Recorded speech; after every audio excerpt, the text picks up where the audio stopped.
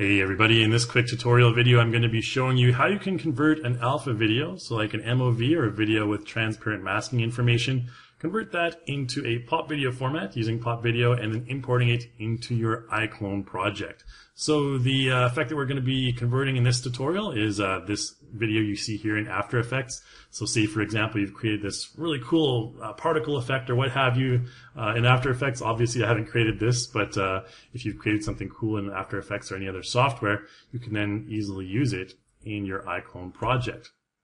So uh, I also have this project I'm going to be importing it into. this project right here with this happy dude just smiling and uh, charmed about something, and we're going to put some hearts above his head. So let's go to the desktop now, and you can see I have this hearts.mov uh, right here, this QuickTime movie. Now, if I wanted to right-click and drag this into my iClone project, uh, despite the fact that it has alpha information, iClone's not going to recognize that. Uh, so if we, you know, import it in as a billboard there and use our align to, we can align to our character X, Y, Z, and the center. And we can zoom out a little bit. You can see the, this will be the video plane right there, and it'll just be a big black plane. Obviously that's not going to work for our purposes here because we can't see his face. We can see the hearts, but not his face. So let's go ahead and just delete that. And we need to import in a transparent video. So let's go over into popVideo here. And we're going to select a new project, import our file. You can also use the Control I hotkey, and we'll import that hearts video from the desktop. And notice that when I do this, uh, it's going to go directly into video and image uh, edit mode right here, or sorry, mask video image mode, uh, the tool right here. Uh, it automatically does that when you import in an MOV or a file with transparent video information. And this uh, field right here will also be will also contain the uh, same file path that contains that alpha information. All right, and so if I play back from this point right here, you can see there's our transparent video. So everything is fine and dandy. So really all we need to do here is go into export mode now. Uh, so let's go into the export uh, tab and we're going to choose pop video as our format obviously. We don't have to worry about the uh, quality right now of the uh, audio and video. I'm just going to do this really quickly for you. Um, you can choose to mute the audio. Um, the manual input for the output size, uh, we're going to keep it the way it is because it pretty much takes up the whole uh, frame here. Uh, you can always crop if you want to as well. Uh, we follow how to do that in other tutorials.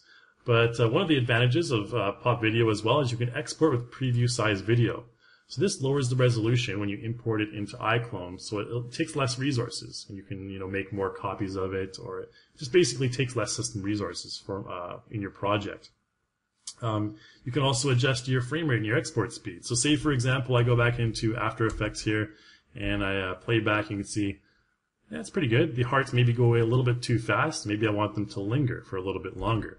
So I can also change the export speed by going into popVideo, changing export speed. Let's lower it by about 25%. So let's um, take this one down to about 75%, I think. So it'll be uh, 25% slower there uh, for export speed. And we'll output the entire thing. And now for your thumbnail, you can see currently it's just a, a, white background there. Let's go to like a frame where we actually have hearts in the scene, like maybe, uh, you know, uh, this frame over here, for example. We have some cool hearts showing up. Cool hearts. And we can scroll in a little bit, um, you know, hold shift and left click to uh, pan over here and get a nice view of some hearts. And if we capture the display right now, it'll show those hearts in our thumbnail. And we can also go to background options if we want, have a custom black background or a pink background. Um, so if I can choose a good pink color here, something like that. Uh, if you wanted that to be your uh, thumbnail, you can do so as well. Capture display. There you go. It looks very pink and romantic. And then from that point on, that's pretty much all we want to do is change the export speed. Make sure we export with the preview size video. And it's going to export now as a transparent pop video. Of course, that background is not going to be included. So let's go ahead and uh, select export and we'll call it uh, hearts. Just save it to our desktop as a pop video file and give that a save. That should just take a minute or two. And so once this has finished uh, processing, we're going to import it into our iClone project and you'll see the results with the preview resolution and everything else as well. So also if you have like, you know, pre-processed chroma key, uh, you, you want to import it into iClone, this is very useful, uh, use, useful process for that as well. If you've generated nice particle effects from other software, uh, definitely uh, keep this in mind. Now, uh, the, when you change the speed as well, the audio data will be removed, so you can always re-import that later at a different speed. Um, let's go ahead and press OK for now. And now on our desktop, we should have this hearts.pop video. You can see the beautiful pink thumbnail we created right there. I'm going to simply right click and drag this into my iClone project one more time. And we'll import it in wherever. And import it in as a billboard. And align it to our character, X, Y, and Z. And then we'll make sure it's uh, kind of up closer to his head right here. There we go. I think that should be about okay. or Something like that. And if we zoom in, then we have, you know, the hearts showing above his head like that. And if we want to reposition the hearts, even though we're at frame 72, I can, you know, adjust my, uh, my camera angle and everything like this because I'm just using a preview camera right now. And we can, you know, move these hearts back. Now, uh, notice as well that the hearts are uh, casting a shadow on our character's face. So obviously, if, if we didn't want these hearts to be too realistic and casting a shadow, um, I'm going to position them here. I can also press the R hotkey and scale them up a little bit if I'd like, or scale them down. Scale them up, I think, just something like that. So these are ways you can manipulate the video in iClone. Uh, and back to what I was originally mentioning, if you want to get rid of the shadows, then with your billboard selected, uh, this is the billboard with zero in parentheses, we can just double click this and rename it to uh, hearts, for example.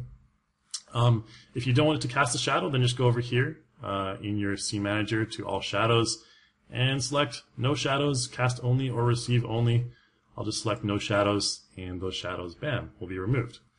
Now, in this case, we don't want our hearts uh, billboard to be moving around or scaling because we're at frame 72. So I can right click it and select remove object animation.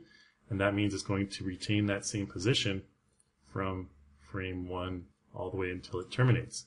So then we can, you know, position our uh, character something like this and press play. Uh, just like that.